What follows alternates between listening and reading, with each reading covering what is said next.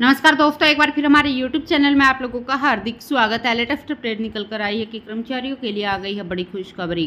50 प्रतिशत डीए होने से आईटीबीपी सीआरपीएफ के भत्ते 25 प्रतिशत बढ़े ड्रेस, साबुन और बाल कटाई समेत बढ़े ये अनाउंस तो दोस्तों, हम आपको सब डिटेल में बताएँगे कि 50 प्रतिशत डी होने के बाद कर्मचारी को जो जो बड़े भत्तों में बढ़ोतरी का फ़ायदा मिला है। उससे कर्मचारियों की सैलरी में कितना इजाफा हुआ है। अगर आप हमारे चैनल पर फ़र्स्ट टाइम विज़िट करें तो चैनल को लाइक कर दीजिए, सब्सक्राइब कर दीजिए, साथ ही साथ वाला आइकन को भी बजा दीजिए, ताकि गवर्नमेंट या पेंशन से संबंधित जितने भी न्यूज़ आती है, उनकी नोटिफिकेशन आप लोगों के पास तुरंत पहुँच के तो करते वीडियो को। स्टार्ट बिना किसी देरी के।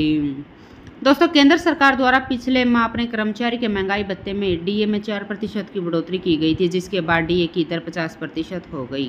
केंद्रीय अर्धसैनिक बल सी आरपीएफ और आईटीबीपी ने इस आधार पर अपने जवानों के कई भत्तों में वृद्धि कर दी। इन भत्तों में 25 प्रतिशत की बढ़ोतरी की गई। केंद्रीय बलों के जिन भत्तों में वृद्धि हुई है, उनमें children education allowance, hostel subsidy, dress allowance, बाल कटाई एवं साबुन भत्ता detachment allowance, tough location allowance, cash handling allowance nursing भत्ता, वार्षिक भत्ता, फ्लाइंग अलाउंस, डेपुटेशन भत्ता आदि में एक अप्रैल से बढ़ोतरी की बात की गई। सी आर पी एफ़ में children education allowance C E A के मौजूदा राशि सत्ताईस हज़ार रुपये वार्षिक थी। डी ए के पचास प्रतिशत होने के बाद इसमें पच्चीस प्रतिशत की बढ़ोतरी की गई। सी ई भत्ता अब तैंतीस हज़ार सात सौ पचास रुपये वार्षिक मिलेगा। दिव्यांग चाइल्ड के लिए चौवन हज़ार रुपये प्रति माह थी। अब यह राशि सड़सठ हज़ार पाँच सौ रुपये वार्षिक मिलेगी।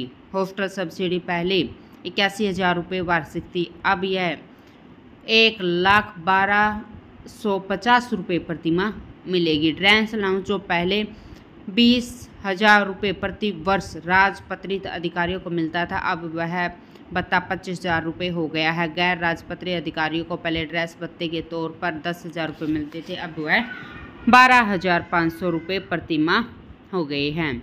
रिस्क एंड हार्डशिप अलाउंस अत्यधिक सक्रिय क्षेत्र भत्ता फ़ील्ड एरिया में काउंटर ऑप्स भत्ता और कोबरा अलाउंस की मौजूदा दरों में 25 प्रतिशत की बढ़ोतरी की गई है। नर्सिंग पर्सनल को ड्रेस अलाउंस जो पहले अठारह सौ रुपये प्रति माह था, अब वह बाईस सौ पचास रुपये कर दिया गया है। नर्सिंग अलाउंस पहले सात हज़ार दो सौ रुपये प्रति माह मिलता था, अब नौ हज़ार रुपये कर दिया गया है। बाल कटाई पैंतालीस रुपये से बढ़ाकर छप्पन हज़ार, छप्पन पॉइंट दो पाँच प्रतिशत कर दिया गया है। साबुन भत्ता पहले पैंतालीस रुपये था, जो अब साबुन भत्ता छप्पन दशमलव दो पाँच रुपये प्रति माह कर दिया गया है।